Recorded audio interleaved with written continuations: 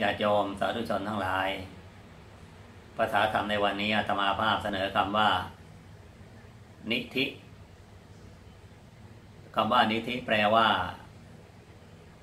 การวางลง การเก็บไว้ การฝังไว้ ที่เก็บ ที่ฝัง ที่บรรจุ ในปัจจุบัน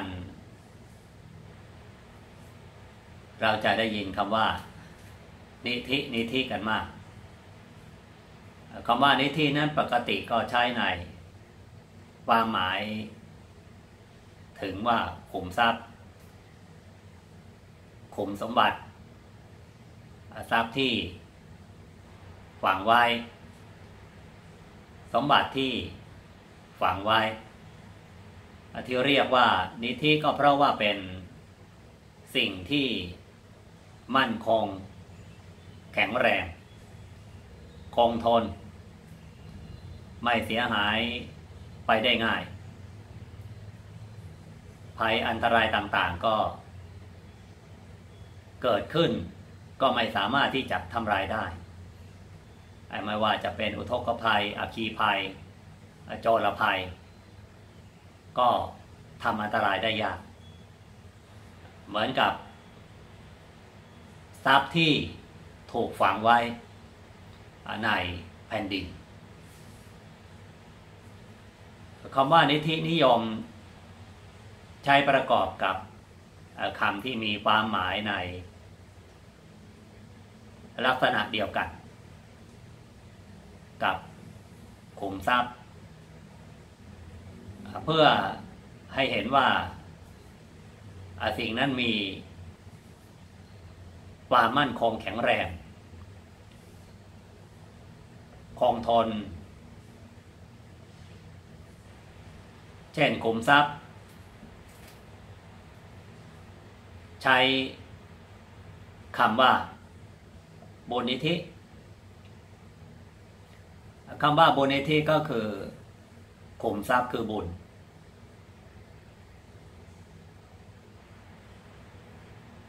ในความหมายก็คือ มีกองทุนมีเงินจำนวนหนึ่ง ที่ทำเป็นกองทุนแล้วก็ไปฝากในธนาคารเอาไว้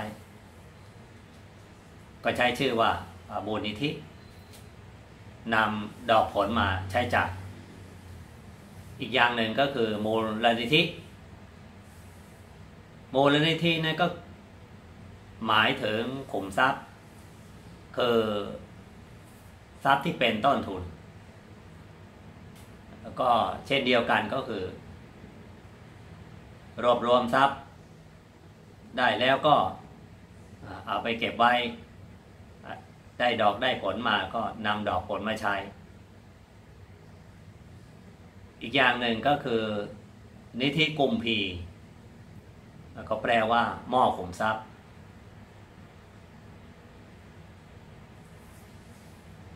ถึงอย่างไรคำว่านิธิก็คืออเป็นที่เก็บไว้เป็นที่ฝังไว้ ของทรัพย์สินเงินทอง โดยมีวัตถุประสงค์ก็เพื่อที่จะนำเอาเพียงดอกผลมาใช้ ก็นิยมทำกันในการกุศลต่างๆ รวบรวม ทรัพย์สินเงินทองก็ตั้งเป็นนิธิ เป็นบุญนิธิ เป็นมูลนิธิ และนำเอาดอกผลมาใช้ ส่วนต้น ก็ยังอยู่ ต้นทุนก็ยังอยู่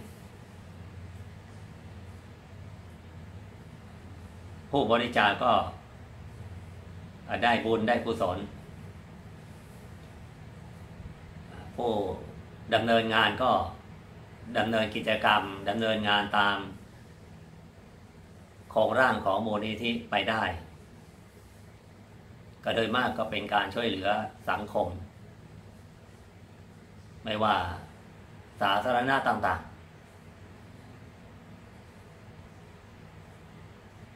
การทำอย่างนี้ก็เพื่อที่จะให้ได้บุญต่อเนื่อง คนที่บริจาคก็ได้บุญต่อเนื่องต้นทุนก็ยังอยู่ และกิจการก็ดำเนินไปได้นั้นคำว่าในที่ก็คือการเก็บไว้การฝังไว้นั่นเอง จะว่าฝังความดีเอาไว้หรือว่าเอาฝังบุญเอาไว้ก็แล้วแต่ ญาติโยมสาธุชนทั้งหลายปฐาธรรมในวันนี้ธรรมาภาพขอหนูอวยพรให้กับบรรดาญาติโยมสาธุชนทั้งหลาย จะมีความสุขมีความเจริญในทั่วหน้ากันเทิน เจริญพร